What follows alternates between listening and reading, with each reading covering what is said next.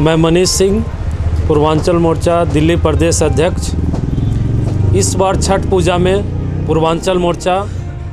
एक अलग पहल के साथ उतरी है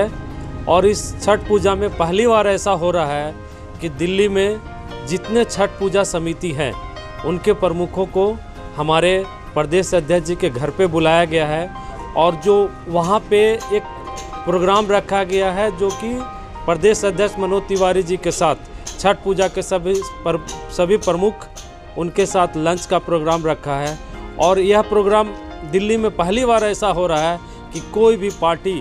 छठ पूजा समिति के लिए इतना ध्यान दे रही है और इतनी जागरूक है। तो पूर्वांचल मोर्चा ऐसा प्रोग्राम किया प्रदेश अध्यक्ष जी के पास लगभग दिल्ली से सभी छठ पूजा समितियों को अगर देखा जाए तो लगभग एक हज़ार लोग उस दिन उपस्थित रहें।